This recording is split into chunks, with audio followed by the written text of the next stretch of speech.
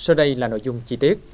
Thưa quý vị, ngày 9 tháng 11, đồng chí Lê Hồng Quang, Ủy viên Ban chấp hành Trung ương Đảng, Bí thư tỉnh ủy An Giang đã đến dự ngày hội đại đoàn kết toàn dân tộc tại khóm Châu Long 8, phường Châu Phú B. Cùng tham dự ngày hội có các đồng chí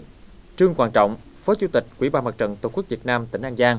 đồng chí Lâm Quang Thi, Bí thư Thành ủy, Chủ tịch Ủy ban nhân dân thành phố Châu Đốc, đồng chí Cao Xuân Bá, Phó Bí thư Thường trực Thành ủy Châu Đốc, đồng chí Đinh Văn Bảo, Phó Bí thư Thành ủy, Chủ tịch Hội đồng nhân dân thành phố,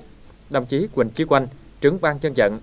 Thành ủy, Chủ tịch Ủy ban Mặt trận Tổ quốc Việt Nam thành phố Châu Đốc cùng 70 đại biểu là đại diện các hộ gia đình và cán bộ đảng viên, cán bộ hưu trí, đảng viên đang công tác sinh hoạt nơi cư trú tham dự. Trong không khí sôi nổi của ngày hội đại đoàn kết toàn dân tộc, các đại biểu và nhân dân cùng nhau ôn lại truyền thống dễ dàng của mặt trận dân tộc thống nhất Việt Nam trong sự nghiệp giải phóng dân tộc, xây dựng và bảo vệ Tổ quốc, cùng nhau đánh giá lại những kết quả đạt được sau 20 năm tổ chức ngày hội.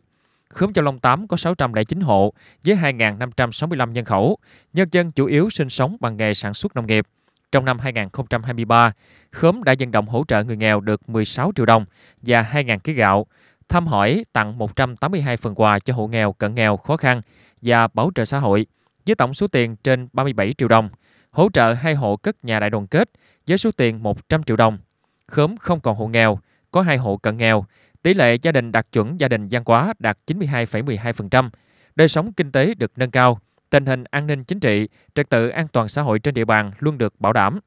Phát biểu tại Ngày hội Đại đoàn kết toàn dân tộc, Bí thư tỉnh ủy Lê Hồng Quang chúc mừng và biểu dương những kết quả của khóm Châu Long 8 đã đạt được trong thời gian qua. Đồng chí nhấn mạnh, để tiếp tục giữ vững và phát huy những kết quả đó, Quỹ ban Mặt trận các cấp làm tốt vai trò nòng cốt, phát huy truyền thống đoàn kết, đại đoàn kết, tạo sự đồng thuận xã hội, tiếp tục đẩy mạnh và phát huy hiệu quả cuộc vận động toàn dân đoàn kết xây dựng nông thôn mới, đô thị văn minh bằng nhiều việc làm thiết thực.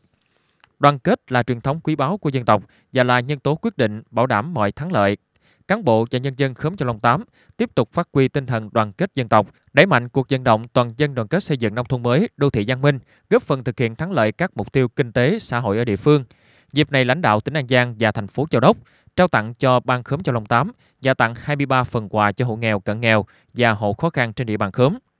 Quỹ ban nhân dân phường đã biểu dương khen thưởng các gia đình văn quá gia đình văn quá 3 năm liền, các hộ gia đình đã có thành tích tiêu biểu, tiêu biểu xuất sắc năm 2023 và trao tặng một căn nhà đại đoàn kết cho gia đình ông Nguyễn Văn Đức.